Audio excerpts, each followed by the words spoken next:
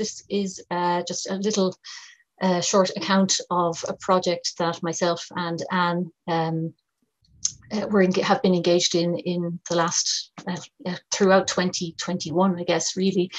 Uh, on the subject of uh, academic referencing in particular. Uh, so sort of a, yes, quite a quite a major piece of academic writing. It's for and basically we want to just cater to um, the needs of our postgraduate distance learners. As you might know from Hibernia, our um, two courses, the two programs that we currently run are PME uh, uh, masters, professional masters in education, uh, primary and post-primary. So uh, just to give a piece, a bit more uh, feedback on, or a bit more uh, context as to what we're doing. Um, academic writing obviously is a big part of, of student success and certainly is the case um, with regard to these programs. Um, it's true on the sort of professional side of things. We want our student teachers upon graduation to be able to develop an argument and synthesize knowledge and evaluate evidence. Um, and also just within the programs themselves, there's a huge emphasis on uh, academic writing.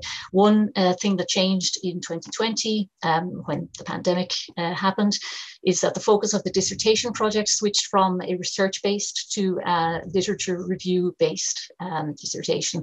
So there's suddenly a greater emphasis on students' ability to handle secondary sources. So that made academic writing even more important.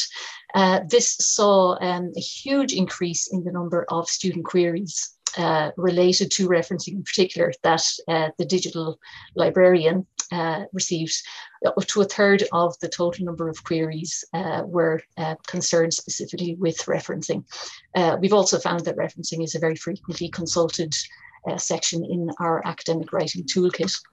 and in terms of assessment of the programs, uh, it that leans very heavily. Obviously, there's this school placement um, uh, aspect as well, but uh, academic writing, in particular essays, form a very large part of um, assessment. There's also portfolios, artifacts, reflective writing, and so forth. So uh, academic writing is really a skill worth learning and referencing within that is, um, is also quite important.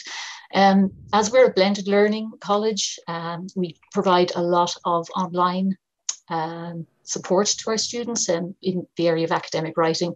Uh, just a few, a uh, couple of examples there. A lot of it is on our uh, on our library site.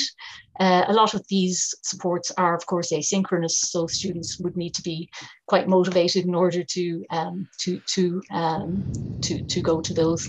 So we did find that uh, students were needing a little bit more uh, more help on that, um, so that was something that we wanted to look at. Now, part of the sort of the evolution of this particular project came from the, as we said, the increased volume of email referencing queries. Uh, one thing we decided to do on the back of that was to update, our resources and specifically update the online referencing guides that we provide to students. And that's quite a big job in itself. Uh, from that, we partly we wanted to encourage use of the of, of these resources of the new guides and of the other bits and pieces that we have online uh, but you know the question was how do we actually do that how do we how do we drive students to these and we came up with um, a suggestion of just uh, doing some drop-in workshops some drop-in live um, zoom um, webinars uh, specifically to look at uh, what students were uh, finding difficulty in referencing and uh, you know, to give them direct help as needed. Uh, just a word on the updating of the referencing guides. We adopted a user-centered approach, uh, you know, removed an awful lot of um, anachronisms and redesigned uh, really for, for ease of use, which was something that uh, I think was uh, creating a barrier to students actually using the guide. Um, again, this was very much informed by the kind of feedback we were getting from the kinds of queries that the, that the digital librarian was receiving. Uh, and basically, it's our own professional domain knowledge uh, as, uh, as digital, uh, digital educators and technologists, but also consideration of our own experiences of being postgraduate students ourselves. Then from that, from those beginnings, we just wanted to look a little bit more at uh, referencing and the scholarship around referencing, and just to you know give ourselves a guide to see if we were going the right way about um, creating these kind of supports. And you know, we found a couple of quite interesting things that really, I think, spoke to us. Or spoke to the, the, the what we felt was Hibernia students' experiences, um, such as um, you know, plagiarism anxiety is obviously a huge one, uh, and that tends to take over a lot of the um, discourse around referencing. Um, enabling students to find their own voice that you know they're not just using sources that they are actually able to use sources while at the same time using that as um, a way of releasing their own academic voice we find that uh, it's quite common that support provision for referencing is very inconsistent and it often falls between the cracks um, in that nobody's really quite sure who's responsible for it. Is it a faculty thing? Is it a more general support thing? Um, is it a library uh, library responsibility? Uh, it and tends to it does tend to get uh, overlooked sometimes uh, because of that. Uh, and then obviously there's challenges supporting online distance learners, uh, you know, being able to provide both synchronous and asynchronous um, assistance for them.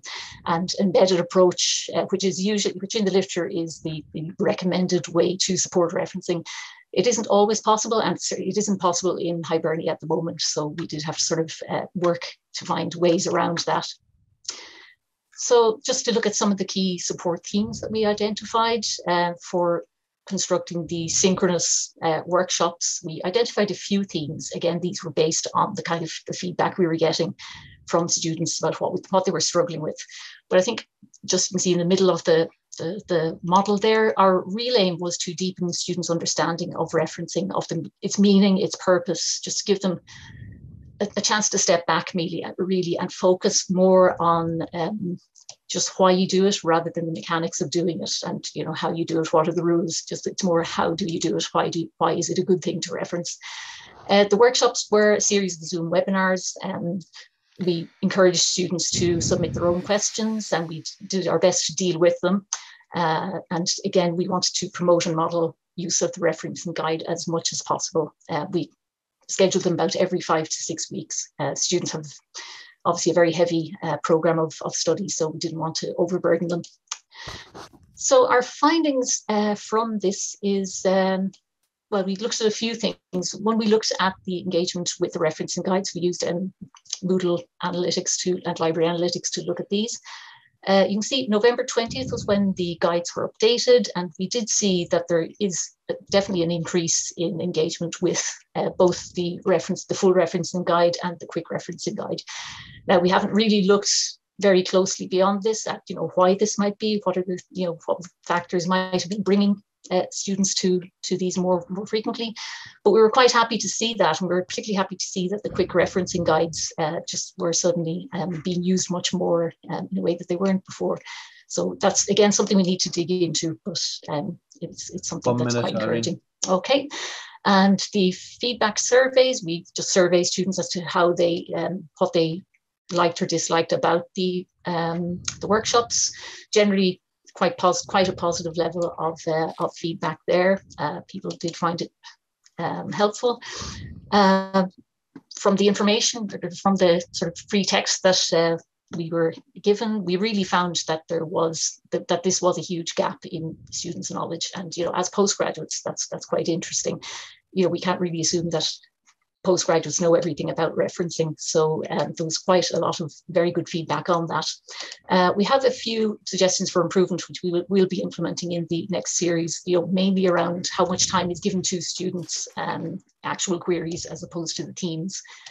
And uh, yeah, we've got a number of uh, other future plans. We've made the videos available, uh, the webinar videos available uh, on the library site. We're going to do a bit more qualitative exploration, I think. Um, we're obviously going to run a few more drop-in webinars and uh, hopefully try to bring in uh, faculty faculty members of the School of Education a bit more and maybe try to go for a slightly more embedded approach um, next time.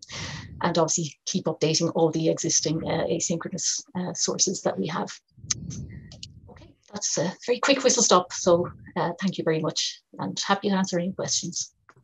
Fantastic. Thank you very much, uh, Irene. Very much appreciate that and appreciate you uh, just uh, bumping up the, the uh, order on the program a little bit earlier. Uh, so thanks to, to you and Ann on that. Are there questions for, for Irene on, on the presentation?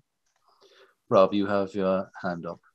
Yeah, thanks, Gavin, and thanks, Irene. Really, really interesting presentation, and, and, well done to you and to you and Ann for for for uh, uh, uh, launching this initiative. I just uh, I, I saw that you said that students' fear of plagiarism was was was one of their factors, and I'm wondering, do you currently um, or or was there any um, conversation around the use of um, text matching tools as formative um, tools to help students um, avoid plagiarism by by inspecting text, text matching reports uh, ahead of a submission. Was there any kind of conversation around that? Yeah, I think we could probably do a bit more conversation around it. We do use um, text matching software. We use um, uh, what was formerly Urkund is now Ouriginal. I just don't know how to pronounce that. Um, it's uh, we've we are using a Moodle plugin that enables students to submit um, submit their drafts, uh, get the sort of get the um, text matching feedback. Um, you know that is part of the uh, part of the, the the whole upload process within Moodle.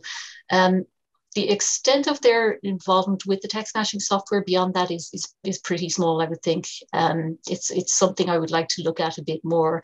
Uh, I do think that they probably do it very close to deadline time. Um, so they may not actually have very much time to, uh, you know, resubmit, study the reports, uh, identify areas. I think that's something that they would probably need a little, uh, little scaffolding with. And um, I mean, as we all know, it's uh, it's very often a kind of last minute, uh, a very last minute thing. Um, yeah. But yeah, I think it would definitely have its uses. That's for sure. Yeah. And I, I think it might be fair to say that. One of the, the, the, the, issues we found was that while the students are quite concerned with the issue of plagiarism, it, it was sort of obscuring a greater understanding and a deeper understanding of the purpose of referencing. And so actually one of one of our tasks was really to try and while still highlighting the importance of avoiding plagiarism was to try and broaden that understanding and give them a deeper appreciation of what they were doing to move away from it as a task that was only about avoiding plagiarism and getting the technical aspects of referencing correct to a more rounded understanding whereby they understood the purpose and to um, kind of back up their own voice with the with the literature that came before and all those things. So it was an interesting, um, I suppose, relationship that we had with this plagiarism idea in the first place, where we were trying to bring the focus slightly um, away from that to some degree. Yeah, and I think that I think that's a challenge for all of us. Really, we all get very hung up on the technical bits around referencing and and and doing it and doing it correctly without actually considering the value of referencing and the purpose of referencing. So it's, it's great that you were bringing that to the fore. Well and it really came out in the in the literature that we we, we looked at when we were considering all of this. That that was a, a, a concern across the board.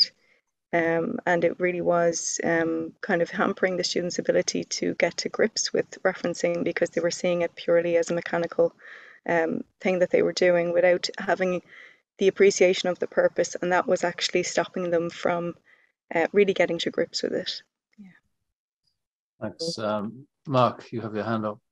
Yeah, it's on that point exactly that Ann's bringing up. Um, if we can reduce the rationalization that students have for plagiarism by explaining to them the value uh, uh, and importance of it, I think we'll do an awful lot better than we will by trying to match similarity reports and and uh, catch them. I, I think if we're better off taking a preventive approach rather than um, uh, uh trying to catch them later. Uh, so, and resonates so much with me with what you're saying there. And i think the real way to stop it is to to get students on board and get them to buy into uh, the value of plagiarism